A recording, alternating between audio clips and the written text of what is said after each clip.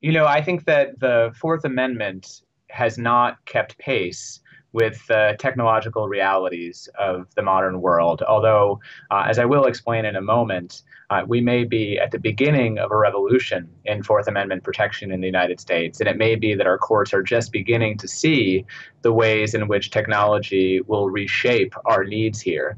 Um, the primary point that I would make um, is that the Fourth Amendment has not always been the primary guarantor of our privacy. Uh, in some sense, the high cost of surveillance uh, has been the primary guarantor of our, of our privacy. Uh, law enforcement simply didn't have the resources to follow very many of us for very much of the time. Uh, and if law enforcement wanted to track an individual, that might have required a huge investment of resources, teams of officers to follow that person around. And of course, technology has brought those costs from very high to negligible. Uh, and now it's possible for law enforcement to track all of us um, at, at, almost no cost with a laptop computer um, simply by contacting the technology companies that are tracking us and getting that information for them. Uh, and so now we're going to need to have constitutional law uh, in places where we didn't necessarily need it before uh, because of how easy it is for the government to track us and because of the ways in which that reshapes the power relationship between uh, governments and individuals. Um, it, specifically with respect to the Fourth Amendment, um, since the 1960s, the test that our courts have applied uh, to determine whether citizens are uh, entitled to Fourth Amendment protections is do we have a reasonable expectation of privacy? Uh, with respect to whatever is being invaded um, by the government. And remember, the Fourth Amendment applies only to the government.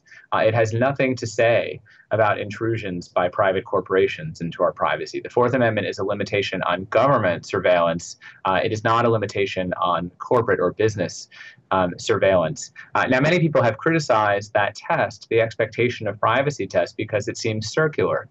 Um, if, if we're really asking what kinds of privacy expectations are reasonable, um, uh, you can see how that can become a one way ratchet. That, that the more surveillance we're subjected to, the less reasonable it is for us to expect more privacy. Uh, and then the protection itself under the law would go down. But, but that's not generally how the courts have applied the Fourth Amendment test. Uh, in general, there has been a normative component where they have asked, um, is this something that we should be protecting? Um, you know, the second part of the Fourth Amendment doctrine that has uh, that is in need of revitalization um, is something that we call in the United States the third party doctrine.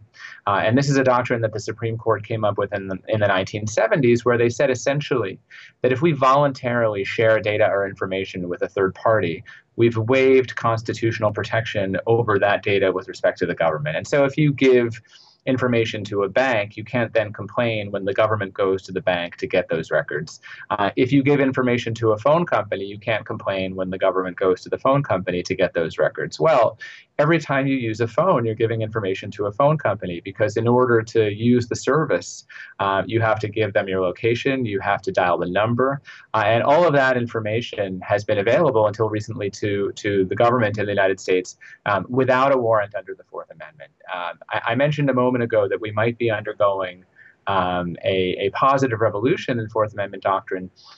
I'll discuss briefly two cases. In 2012, our Supreme Court held for the first time um, that GPS tracking of an individual's location um, is a search under the Fourth Amendment.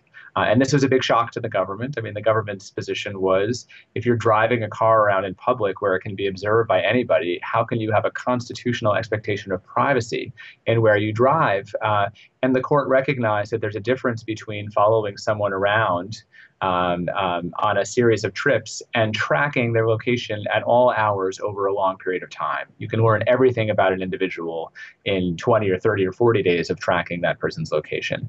Um, so that was a very important decision, uh, and we'll see now whether that signals a broader Fourth Amendment revolution. The second case um, involved whether the police in the United States uh, when they arrest someone, can search their cell phone or smartphone without getting a warrant from a judge.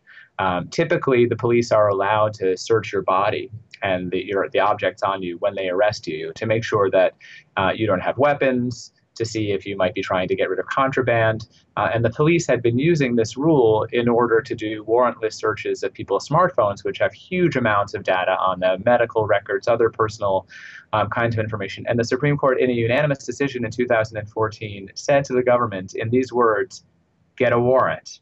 Um, that, that essentially um, technology has changed the balance here, and where we might have uh, sided with law enforcement in the past. Now we're siding with privacy. So that was somewhat of a long answer, um, but but I hope it will be helpful to non-American students.